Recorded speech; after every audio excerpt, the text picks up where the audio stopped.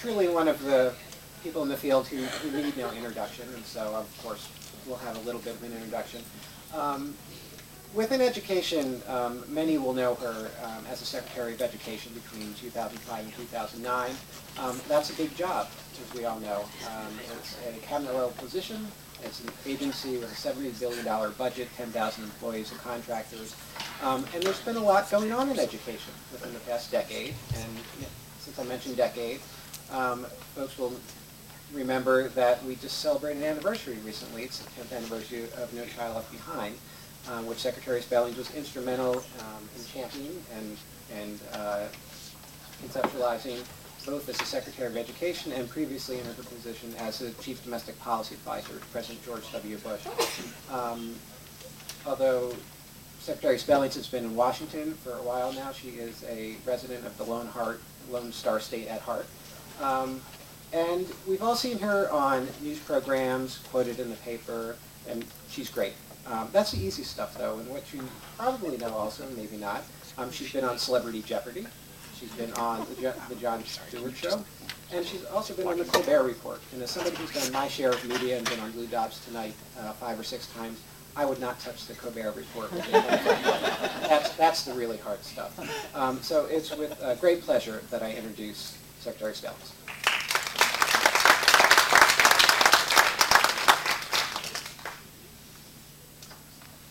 Thank you, Chris. I, I have to admit, I mean, th- I've never been so frightened in my life than on Jeopardy.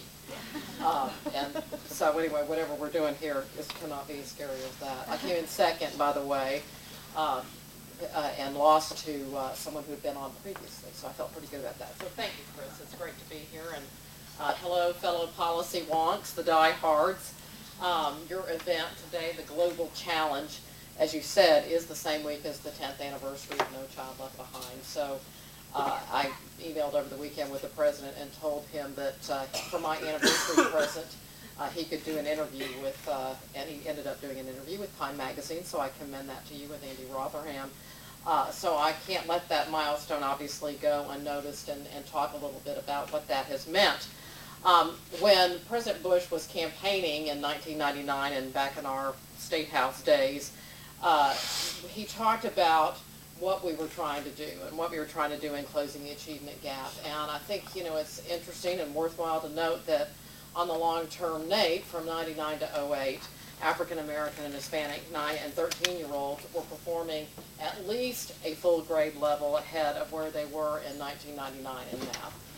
The exception was Hispanic nine-year-olds who were two grades ahead of where they were. And of course, uh, in reading, the gains were similar. Now, we can argue about, you know, who gets the credit and so forth, but the point is, the accountability and measurement movement, clearer standards and assessments against them really were uh, an important change. But of course, we wouldn't be sitting here uh, if we were finished, if we were satisfied. In Texas, we say we're pleased but not satisfied, and we have a long, long way to go. Uh, African American students, as you know, are nearly three times as likely to be identified for special education as their white peers. A third of all of our students don't graduate on time for Hispanic and African American students. For poor students, that number is approaching half. Students in other countries continue to outperform our kids on international tests. And data indicates that this is true for all of our students, including the uh, so-called high performers, the high flyers. I was struck by Rick Hanushek's work that found that only 6% of U.S. students perform at the advanced level in math, a figure that places us behind 30 other countries. And when we looked at that in the context, or they looked at that in the context of individual states, our highest performing states, Massachusetts, for example, ranked 17th. Our lowest performers, Louisiana, West Virginia, New Mexico, and Mississippi, fell between Serbia and Chile. The Bush Institute's global report card found that achievement levels in U.S. school districts uh, that are often viewed as the gold standard of American K-12 education, places like Greenwich, Connecticut, Palo Alto, California, and Reston, Virginia, here in our backyard, uh, are not measuring up internationally. In 07, the math achievement of the average Beverly Hills student was at the 53rd percentile. White Plains, New York at 39th. Grosse Pointe, Michigan at 56th, and Evanston, Illinois at the 48th percentile. Sometimes I call this the fat, dumb, and happy syndrome. Uh, these results show that the need to improve our schools is not just an urban problem, and I think it often gets framed out like that, the NCLB kids versus all kids, which likely comes as a shock to some folks in suburbia. That one of the age-old problems in education, as I need not tell those of you in the media business, is that everybody thinks their school's great, it's all those other schools that stink. Uh, but it's, it's not the case that all of our schools are performing very well. Uh, so we have to do a better job, not just in educating those that are the focal point of No Child Left Behind, but all students. And we know the correlation between achievement and economic growth, of course, is powerful. If we raise students' math scores on PISA by 40 points, we'd see $75 trillion in economic gains by 2090. According to the U.S. Department of Labor, and you all hear and say this yourselves, 3.2 uh, million unfilled jobs, while 14 million Americans are out of work. That's pretty shocking. Uh, even worse, as you know, experts predict a shortage of 14 million college-educated workers by 2020, and we're now relitigating the debate about whether post-secondary education is or isn't necessary. Uh, so we're facing a double whammy by standing still or even losing ground while other countries are speeding up and improving their education systems and results. A recent paper by Complete College America highlights the amount of wasted time and, and essentially wasted money on earning a college degree when only 40% of full-time African American students and 46% of Hispanic students seeking a bachelor's degree do so within six years, and those rates drop to 15% for African American, African American and 17% for Hispanic for part-time students. So every single data point confirms the problem, and we have to do things differently. But be assured that I am not here to be solely the voice of doom and gloom. We do have plenty of reasons to be optimistic about our future if we can build on uh, some public urgency or inspire some public urgency around these things. Uh, it strikes me that, you know, 10 years ago and how far we've come politically, interestingly, that Republicans and Democrats came together to pass No Child Left Behind by amazing bipartisan margins. I have a, a signing pen and the vote tally and so forth framed in my office. I think the Bush Library wants to steal it from me, but they're not going to get it. Um, which it really is striking when you think 87 to 10 in the Senate. This is a, a bill, piece of legislation that affects every community and you know tens of millions of students around our country. And to think that we had that kind of bipartisan uh, consensus is, is uh, surprising on any issue. So I'm really proud of what was accomplished. By testing students from every zip code and background, of course, it gave us quality information that helped us know who needed help uh, and what we needed to do. By requiring all schools to make adequate yearly progress, parents had a better idea about how their schools were doing. By calling for a highly qualified teacher in every classroom, it recognized the single most important factor in student achievement. By offering help like tutoring and the ability to transfer to a higher performing school, it's got student, gotten students back on track and working towards grade level. There's a lot of discussion about whether the law has worked or not, but based on the results that I mentioned earlier, I really think it has, especially for those students in the, that were the focus of this law, poor, minority, and disadvantaged kids. Yet even as we're making progress, we're debating issues such as the very existence of the U.S. Department of Education and the extent to which we should hold states and schools accountable for student achievement. At the heart of these debates, sadly, is what my former boss used to famously call the soft bigotry of low expectations. And here we are talking about letting our schools off the hook because, well, some kids just fall through the cracks, don't they? And I really, you know, in my travels all over the country and all over the world, I've yet to meet a parent, certainly I didn't feel like this as a parent myself, who didn't want their child to read or cipher at grade level or better when they were in that grade. Have, have you ever met a parent that wanted, do you, is that what you want for your own kids and grandkids? Working for the U.S. Chamber of Commerce, I never hear business people say that that's an unreasonable demand of our schools, and that's simply what the law asks for. But of course, that's not deterred the critics. Some say the law was intended not to improve public schools, but to label them as failures. Because schools must make annual progress towards improving student achievement. Stu- schools, as you know, were given a 12-year window until 2014 to bring students to grade level proficiency, a fairly modest level, as Secretary Duncan has observed repeatedly, as a way to make the case for the Common Core. Uh, let's face it, some of our schools should close their doors. When 15% of the nation's schools produce more than half the dropouts, something's got to change. We cannot continue to delude ourselves that half of the minority kids can't get out of high school on time, but all the schools are fantastic. It just doesn't add up. So, uh, you know, it, this, uh, this stigmatization argument is, in my view, a red herring.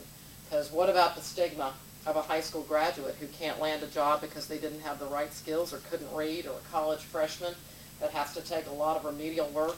In 2010, the private sector spent $50 billion on job training and remedial education. Just think how many workers could have been hired with those funds. Last fall, feeling some of this, this heat that is a perennial for, for all policymakers in education, President Obama announced that states could apply for waivers to the law's accountability requirements. Given that states have previously sought waivers to mask the underachievement in their schools and push off confronting needed changes, I'm skeptical that many states will use this approach to advance reform, but time will tell. When I was the Secretary of Education, I was bombarded with calls for waivers from the law, and I feel for Secretary Duncan these days. Utah eh, perennially submitted a, a waiver to educate only 75% of its students to grade level. Kentucky wanted to hold school, schools accountable every other year instead of every year. Of course, I didn't approve these requests, but I do understand and did use the waiver authority to try things like the growth model and other uh, policy uh, changes that, that we uh, believed we were right for. And I, I know that uh, Secretary Duncan is considering these, these issues now, and I, I hope it'll hang tough. It's our job as the public, as taxpayers, and as the business community, and as parents, to keep an eye on these waivers, to watch the fine print, to ensure that they're not a retreat from real accountability for all students.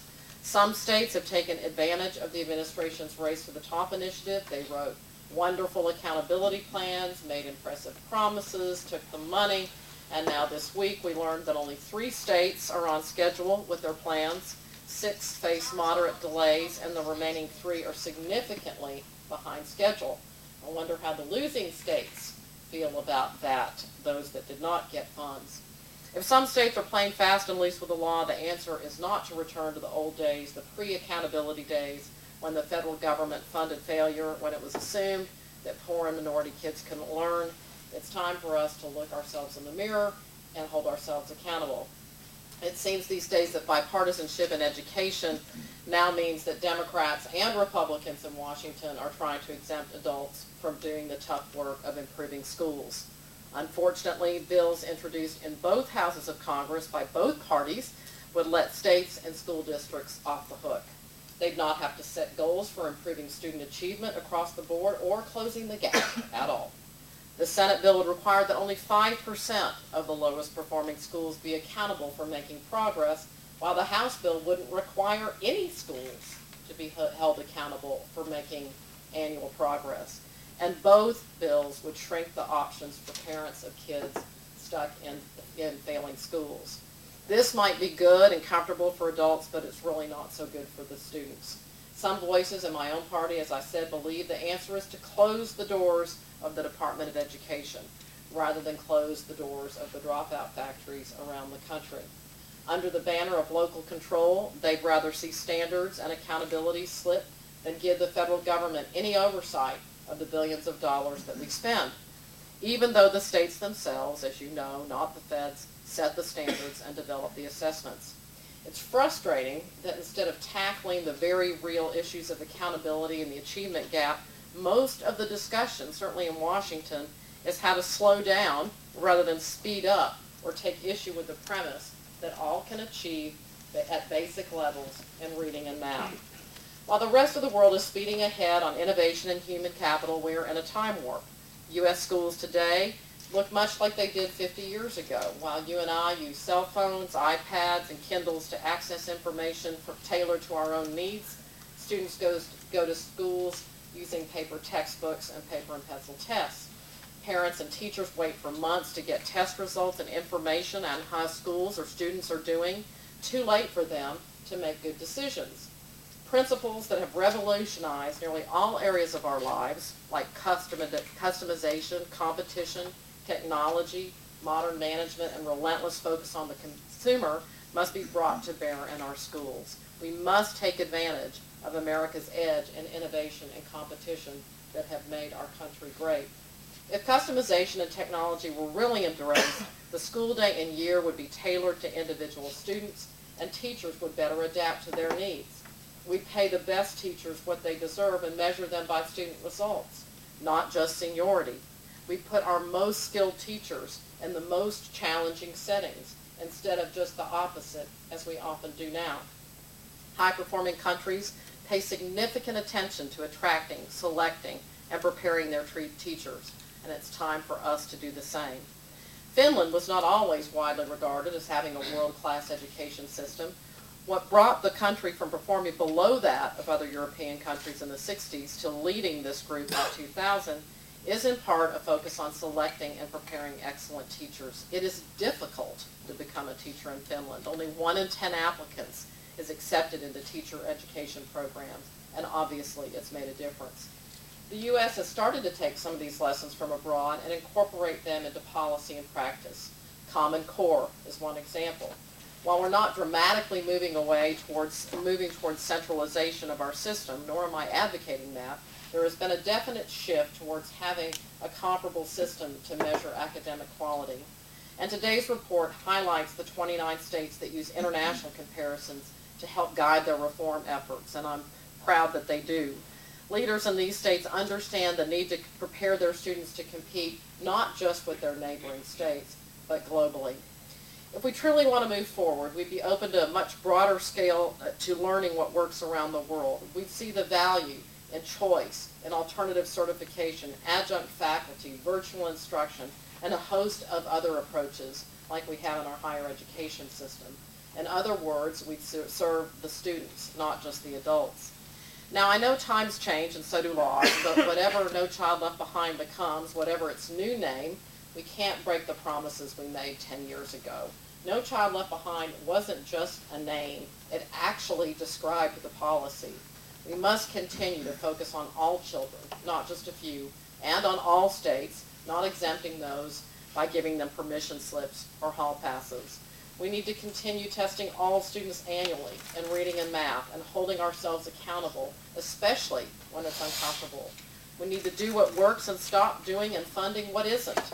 We need to give reformers room to reform, and above all, we must believe that our children can do it, each and every one of them. High standards and great results begins with high expectations. You all may never have heard of the Committee of Ten, but it set the standard for public education at the dawn of the 20th century here in the U.S. The committee said that students, quote, should all be treated alike, with every subject taught in the same way and to the same extent, no matter what the probable destination of the pupil. We got away from that ideal in the 20th century a bit. As U.S. Secretary of Education, I often visited parents of all backgrounds, races, and ethnicities, and I asked them what they wanted for their kids. The hopes and dreams they held for their children were the same as we have for ours. The skills to get a job and live the American dream. It's time we get serious about this promise to our children. We're up to the task, and they're counting on us. Thank you.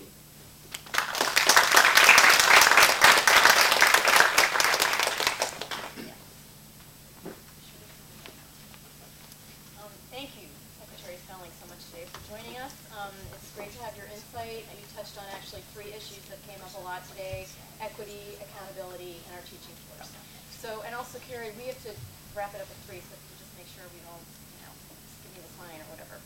So, um, our quality counts report gave the country generally like an average of a C plus for chance for success, and this is foundational issues that relate to family income, levels of parent education.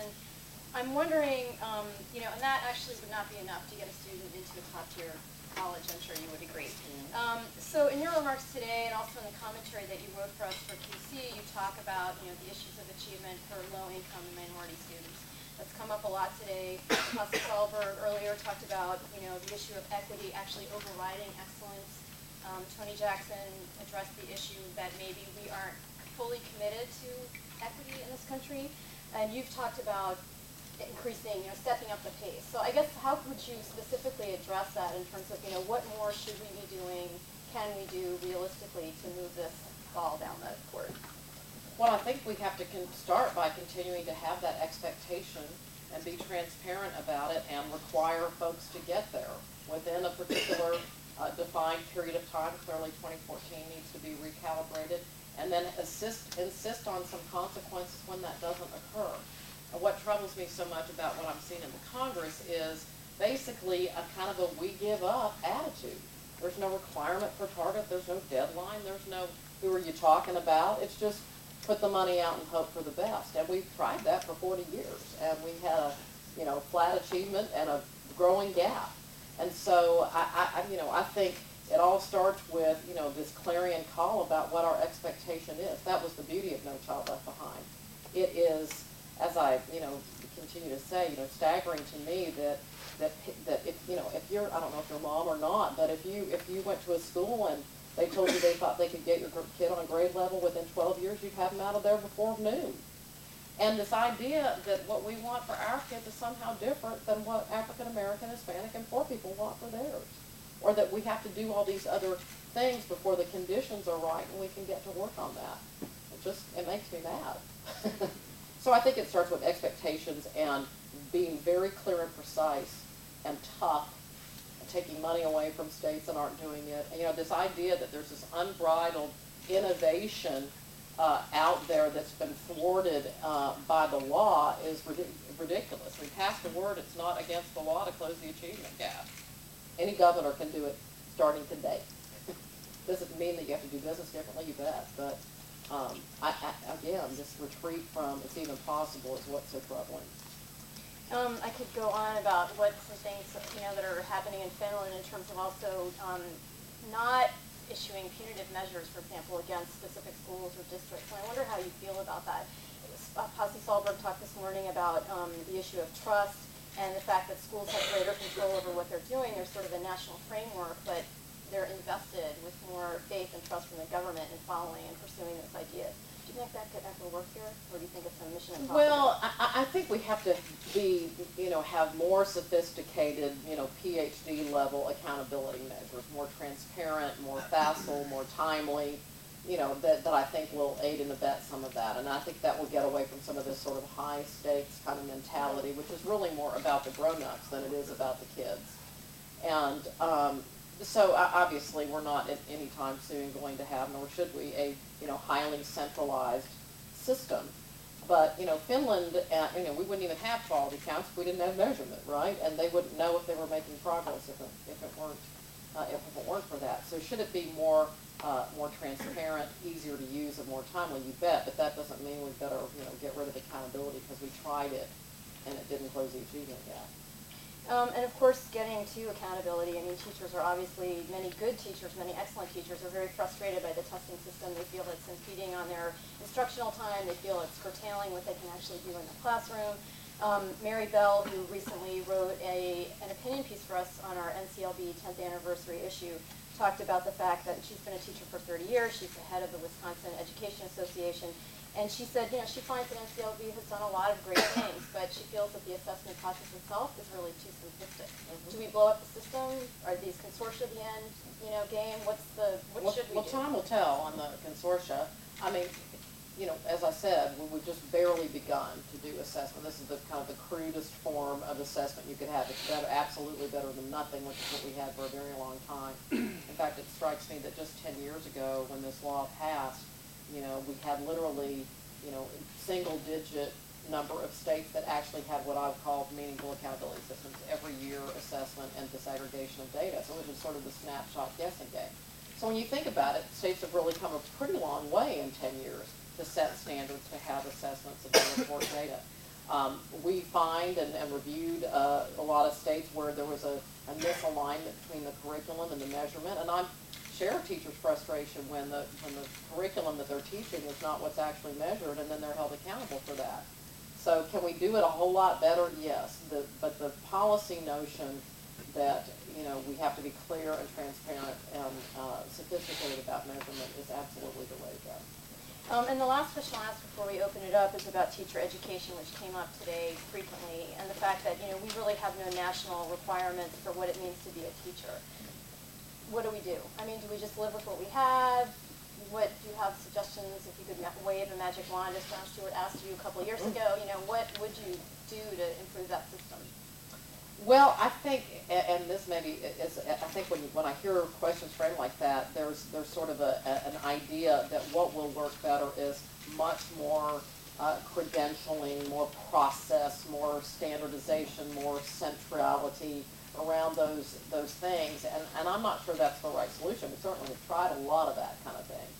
Um, and I think teachers and students have often been ill-served by it. What I think we ought to do is what we have done a lot of in, in American higher education, which is to say that we have experts who teach classes, we have adjunct faculty, this idea that there's only one way to come into the classroom, and it's to be available 180, 190 days a year from X to Y with this sort of, you know, single file kind of idea is just, you know, ill-conceived, especially as we have shortages in STEM, STEAM, and every other kind of field, especially in our needy, uh, neediest campuses. So why can't we have, you know, NASA scientists teaching, you know, two sections of, of chemistry in the spring only? Uh, you know, we're, just not set up to do that sort of thing. So I think getting an, an influx of talent in ways that are uh, more open and more accommodating, as we've done in every other kind of area of American life, um, and measuring against that. I mean, let's align those, those sorts of things with student achievement. Let's see who's doing the job is, is maybe a, a new way to think about this, as opposed to kind of a command and control thing that we've tried and retried. Okay, I'm gonna open it up. Can we have a microphone? And please give us your name and your affiliation. Mark Hyatt, uh, just uh, retired as a superintendent in Colorado after 10 years, and thank you for your leadership in our nation. God bless Um, you. Yeah. One thing I'm very concerned about, uh, I just came to DC, I've been here a week now, and I'm leading a group called the Character, Educa- Character Education Partnership that's concerned about the kind of children and their character that graduate, just as concerned about that as they are math and, and English. But uh, there seems to be an emerging national scandal I'm reading about where teachers are putting on plastic gloves and going in on weekends and changing test uh, answers on standardized tests. Atlanta, but it's not just Atlanta. I don't want to pick on them. It's it's Right. emerging from around the country, hundreds and even thousands. Houston. It. Well, and I worry that as we, and I'm a big pro- uh, proponent of merit and, and uh, merit pay and performance pay, but is this a uh, an un- unintended consequence of moving to that? And now teachers feel they have to cheat. Good question, and hi Linda. Um, you know, character education, that- that's a, gr- that's a great life after superintending, uh, uh, enterprise, and, and I know, uh, I'm glad you're working on it. A- Again, I think it, it speaks to sort of the crudeness of our assessment instruments, that they are, you know, able to be manipulated in that way. They're pencil and paper and they're scanned and so on. And I think if techno, if, you know, if, if and when we get to the day where those sorts of assessments are embedded in technology or, uh, you know, more incorporated into observational type, uh, measurement and so forth, I mean, I think we can do a better job that will mitigate against some of those, some of those things. But I think the truth of the matter is, those are, you know, rarities. Obviously, most, the vast, vast majority of our teachers are highly ethical, wonderful people that we'd be proud to have our kids with uh, any day. And I think we ought to, you know, call it out because I think it's shameful for the rest of the profession um, and, and attend to it. But, uh, you know, and use it as an example with kids. Thank you for the question. Do you, let me just follow up on that. Do you think it's a, a, a cultural issue in the sense that the pressure from testing, I mean, this is what a lot of people are talking about, right? Pressure from testing is causing, you know, superintendents, principals, teachers to incur, maybe not superintendents, but, um, you know, situation in Atlanta, DC, California, um, to cheat.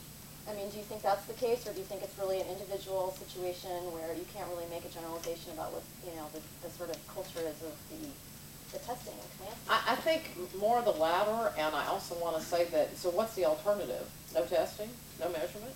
Let's go back to the, let's, we don't even care enough to find out? I mean, I think, I mean, that's what, the- that's the alternative, right? And- And so I wonder often if it's a little bit of a, you know, red herring, sky is falling kind of thing, because the real motivation is, let's get rid of that testing, we don't really like. But could, could, could sort of greater buy-in, for example, the teacher ambassador program that you started at the department that continues to this day is one way that teachers are becoming, in theory, more involved in policy, Yeah. right? I mean, it's a few number of teachers, we have, I don't know, fifty-five thousand of them in the country. I mean, experiences like that might help teachers. I mean, I think one of the things they feel is really uh, totally disempowered. Yeah. So are those ways to kind of, or what are some other ways that teachers can feel more in control of what's happening and maybe have greater buy-in and maybe feel like, okay, this isn't the end of the world? You know, how would you? I, I, absolutely, and I think governors can create programs like that, or even superintendents in large school districts, where teachers have a little bit more of a window into, I think, you know, one, it, it, it's sort of, it's a one-way street, and I feel, think they feel, you know, often dumped on, that they, nobody considered, well, did they think about what this means in, in my life? And so I, I do think programs like that, even though they're small, uh, can, can be important. You know, I'm all ears. If teachers have ideas about how to do that and how to do it better, it's with the operating principle that, you know, assessment and measurement that's transparent, valid, reliable, and useful is here to stay. Paul, do we have anything from? Yeah, we have a couple.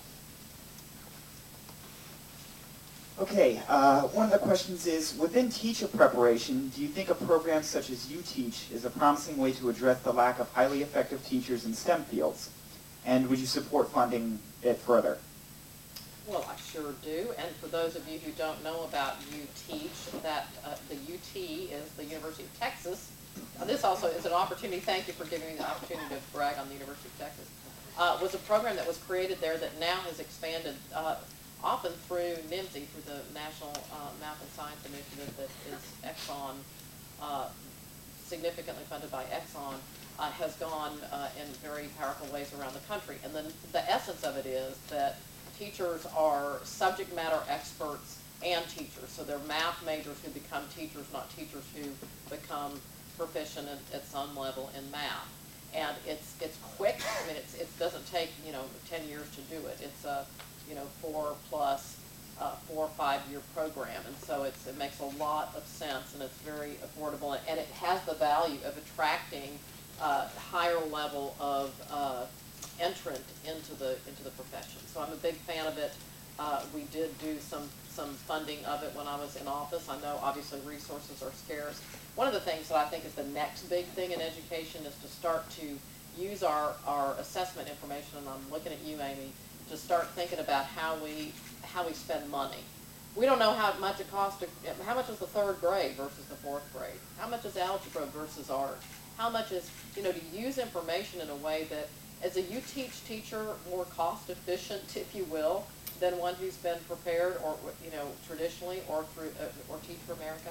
I mean, we ought to know this sort of thing. No other enterprise of this scale would operate with as little information about using resources and the outcomes of it as we do in education. And I think that's where we need to go, especially in times of constrained resources. I think we have time for maybe one more question. Okay, Paul, go for it. Okay, alternative certification programs are becoming more prevalent these days, and many of these programs place teachers in the classroom for two years, then move on. How do we change this expectation among these programs while still providing alternate routes for certifications for career changers? Yeah, so I guess the, the two-year reference is, is a reference to Teach for America, and uh, what I know about that is that many of those folks do not leave the education profession. Some do leave the classroom, but they end up in principalships or working for Teach for America or somehow involved in education. Um, so yes, I mean, again, to my point about how we need to open up the pathways to getting folks that are talented and able uh, in our schools, absolutely. Alternative certification, adjunct faculty, uh, career changers, baby boomers. Basically, I'm trying to find a job when I get through with all of this. Or, that's a good idea. I'd like to, be- before we say thank you, I'd like to just take the host prerogative and take a question of my own. Um, It's been a couple of years since you were at the Department of Education now, and I'm sure some days it feels like you're still there. Um, I think people have strong feelings about No Child Left Behind and kind of, you know, the good, the bad, and, you know, the in-between. I, I'm curious, stepping back a little bit, so we're into 2012 now. Um, it's an election year. It's the 10th anniversary of No Child Left Behind, and for a fair amount of the past year, there was some serious-ish discussion about reauthorizing No Child Left Behind. We hosted a series of events actually with AAR ourselves on, on those very issues. And one of the big themes um, that's come up in part because of the political dynamic in the country, one side of the aisle in some cases arguing to get rid of the Department of Education. The other side, quite frankly, seems to be kind of abdicating itself from, you know, strong positions of some one kind or another. Um, or at least, you know, kind of sees some sort of handwriting on the wall. Um, and I think defenses of some certain kind of existing positions are not as rigorous as they have been. And we just don't see that kind of bipartisanship that we did 10 years ago, which I think is an important part of the context of the law that, that we often forget about nowadays. So, given that you've you know, been out of the, the secretary's position for a while, this question about, that's come up a lot, about the size of the federal footprint within education, um, given the challenges we have, given you know, kind of where we've been in the last 10 years and where we'd like to go, what's your take on that? I, think it is uh, the ultimate red herring and, uh, you know, the idea that the federal role is so intrusive that it has prohibited a closing of the achievement gap is ridiculous.